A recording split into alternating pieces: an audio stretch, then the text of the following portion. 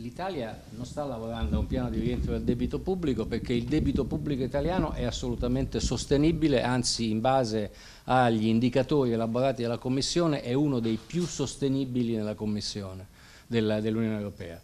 Quindi non abbiamo discusso perché non è all'ordine del giorno.